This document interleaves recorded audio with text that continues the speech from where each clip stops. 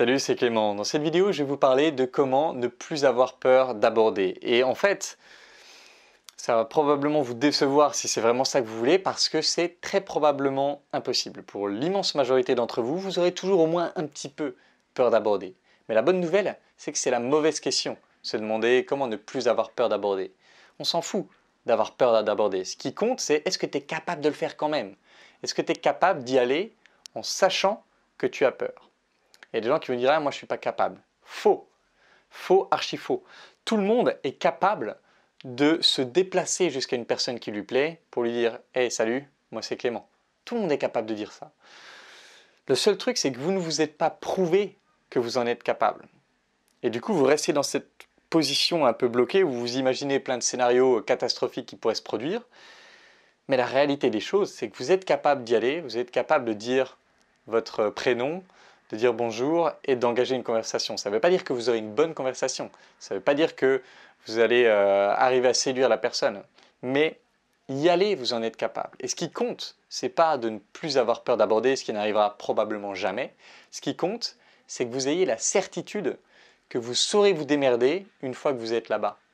Parce que si j'ai peur, mais je sais que je saurai me démerder, bon, il s'agit juste d'aller euh, se mettre dans cette situation. Ok, j'ai peur, je sais ce que ça fait, mais je sais me démerder et je sais que j'arriverai à avancer quand même.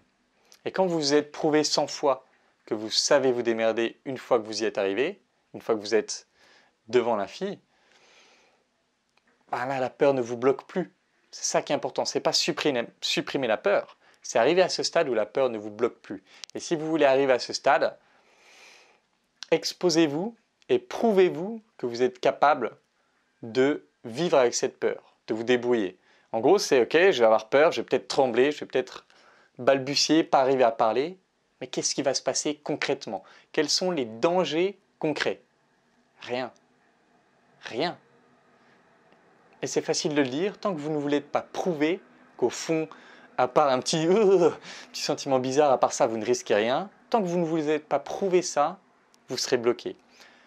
Allez aborder, allez vous prouver que vous êtes capable de gérer le fait d'être nul, gérer le fait d'être là, de ne pas savoir quoi dire, de balbutier, de bégayer, que vous êtes capable d'aller vivre ça, d'en ressortir et de survivre.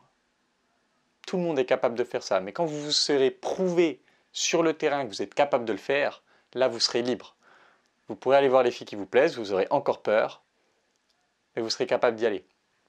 Vous vous serez prouvé que vous êtes capable d'y aller, donc vous pourrez dépasser cette peur d'aborder.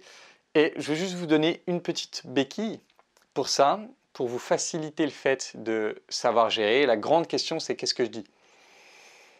Très simple, très très simple. Qu'est-ce que vous auriez envie de savoir sur la nana de vos rêves? Qu'est-ce que vous auriez envie de savoir sur elle? Allez la voir et posez-lui cette question. Et quand vous avez passé cette question, demandez-vous qu'est-ce que j'aimerais savoir d'autre sur elle? Qu'est-ce qui m'intéresserait de savoir sur une fille qui me plaît vraiment? Qu'est-ce qui m'intéresserait de savoir sur une fille avec qui je vais euh, je sais pas, passer un, bon moment? Qu'est-ce qui m'intéresserait de savoir sur elle? Et vous pouvez aller comme ça à l'infini.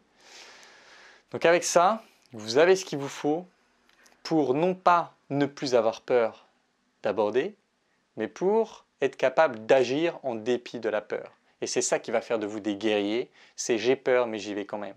C'est ça le courage. J'ai peur mais j'y vais quand même et je suis capable de me débrouiller en dépit de la peur et je suis capable de m'en sortir victorieux en dépit de la peur. Voilà, j'espère que cette vidéo pourra vous aider. Si vous voulez travailler avec moi, comme d'habitude, formulaire dans la description pour l'école des guerriers.